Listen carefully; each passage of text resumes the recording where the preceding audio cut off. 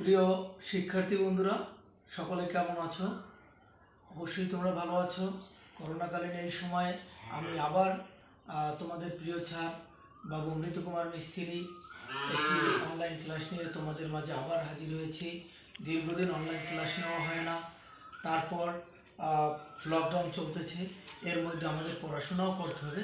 এই লক্ষ্যে আমাদের শৈশব রাসেল মুজিব মাধ্যমিক বিদ্যালয়ের প্রধান শিক্ষক শহীদুল ইসলাম খান তাকে ধন্যবাদ দিই।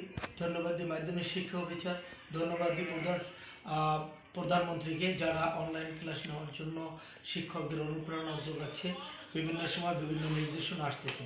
তো বন্ধুরা আজকে আমি তোমাদেরকে যে অনলাইন ক্লাসটি নিতে যাচ্ছি সেটি হলো ষষ্ঠ শ্রেণির কৃষি শিক্ষা বই থেকে তোমরা এই ক্লাসটি তোমরা শিখে নেবে।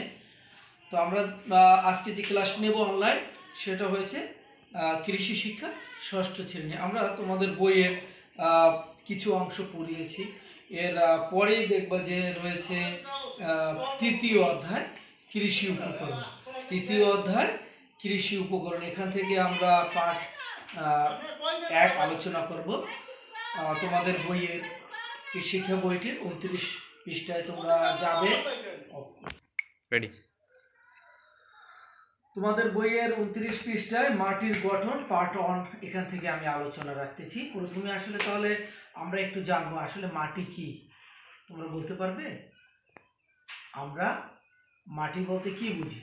তো আমি একটু আলোচনা করছি, তোমরাও কিছু কিছু উত্তর দিতে পারবে। মাটি তো তোমরা, আমরা সেই ছোটোবেলা থেকেই মাটি নিয়েই তো মাটির উপরেই খেলাধুলা, মাটির উপরেই আমরা বেড়ে উঠতেছি। গাছপালা আর সবগুলোই মাটির উপর। তো মাটি বলতে আমরা কি বুঝি? মাটি হলো কি? এক প্রকার প্রাকৃতিক বস্তু এবং এটা মিশ্র পদার্থ। প্রাকৃতিক বস্তু এবং মিশ্র পদার্থ। তো এই মাটির উপর আমরা শস্য বলাই ফসল আদি ফলাই, এগুলো। তা দেখবে যে উদ্ভিদও কিন্তু এই মাটির উপর বেড়ে ওঠে। আমরাও মাটির উপর বসবাস করি। তো এই মাটি সম্পর্কে আমাদের জানার জন্য, তোমাদেরকে আরও একটু বিস্তারিত জানার জন্য আমরা পাঠ্য বই অনুসরণ করব। তো এই মাটি গঠন সম্পর্কে আজ- আজকে একটু আলোচনা করি। মাটির গঠনের উপাদান কয়টি তোমরা জানো বন্ধুরা? মাটির গঠনের উপাদান কয়টি বলতে পারবে? মাটির গঠনের উপাদান চারটি। মনে রাখবে, মাটির গঠনের উপাদান কয়টি? চারটি রয়েছে। আমরা একটু দেখি। প্রথমে রয়েছে খনিজ পদার্থ। কি রয়েছে? খনিজ পদার্থ। তারপর রয়েছে জৈব পদার্থ, পানি এবং বায়ু। এই চারটি উপাদান। তাহলে আমরা দেখলাম যে মাটির চারটি উপাদান, একটা হচ্ছে প্রথমে রয়েছে খনিজ পদার্থ। কত পার্সেন্ট খনিজ পদার্থ? পঁয়তাল্লিশ পার্সেন্ট খনিজ পদার্থ। এবার রয়েছে জৈব পদার্থ। জৈব পদার্থ রয়েছে কত পার্সেন্ট পাঁচ পার্সেন্ট রয়েছে জৈব পদার্থ। এবং পঁচিশ পার্সেন্ট রয়েছে পানি। সর্বশেষে চতুর্থ নম্বরে রয়েছে পঁচিশ পার্সেন্ট বায়ু। তো মাটির গঠনের উপাদান মোট কয়টি? চারটি উপাদান। চারটি উপাদান প্রথমটি খনিজ পদার্থের মধ্যে কি রয়েছে দেখো? নুড়ি, পাথর, বালিকণা, পলিকণা, কর্দমকণা। এগুলো নিয়ে কিন্তু খনিজ পদার্থ আমরা দেখতে পাবো যে খনিজ পদার্থটা।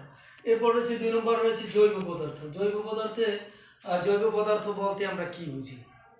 তোমরা বলতে পারবে, জৈব পদার্থ মাটির একেবারে মূল জিনিসটা জৈব পদার্থ। যেটা রয়েছে গাছপালা লতা পাতা তারপর উদ্ভিদ এবং প্রাণীর মৃতদেহ পচে গলে এই যে উপরে যে কালো রঙের যে আস্তরণটা, যেখানে আমাদের উদ্ভিদ তাদের মূল উপাদানগুলো গ্রহণ করে এবং পানিটা ধরে রাখতে পারে জৈব পদার্থ, তাই না?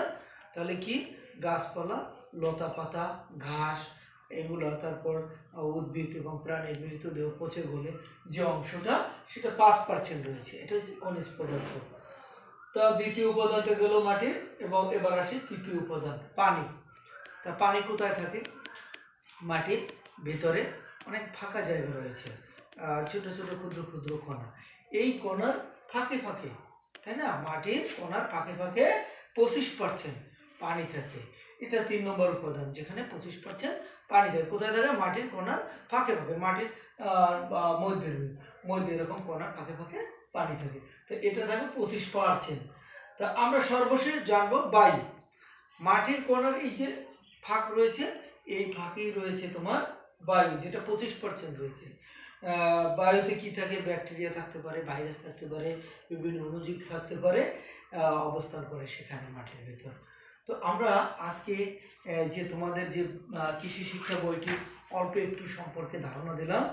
তো বন্ধুরা, বাড়িতে তোমরা তৃতীয় অধ্যায় কৃষি উপকরণ এবং মাটির গঠন। আজকে যে আমি যে চিত্রটা এঁকেছি, তোমরা বাড়িতে চিত্রটি তৈরি করবে এবং এই যে চারটি উপাদান, মাটির গঠনের উপাদান চারটি সেই উপাদানগুলো তুমি বাড়িতে বসে বইয়ের সাথে মিলিয়ে আমার ক্লাসটির সাথে তুমি পড়াটি তৈরি করতে পারবে।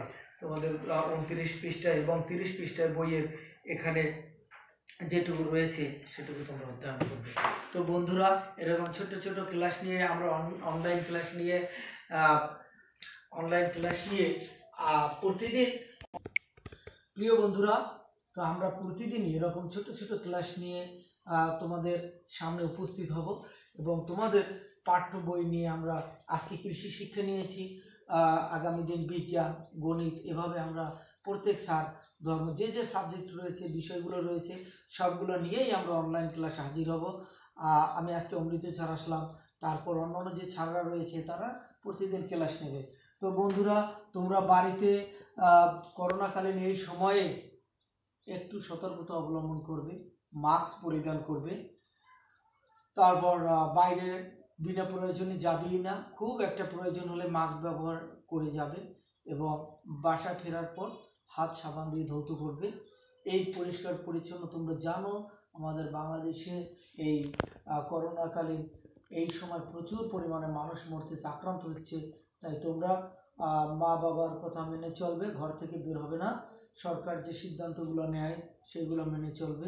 ছাড়দের অনলাইন ক্লাসগুলো তোমরা বাড়িতে বসে মোবাইলের মাধ্যমে দেখতে পারবে। তো সকলকে আরও একবার ধন্যবাদ জানিয়ে আজকের ক্লাস আমি এখানেই শেষ করছি। ভালো থাকবে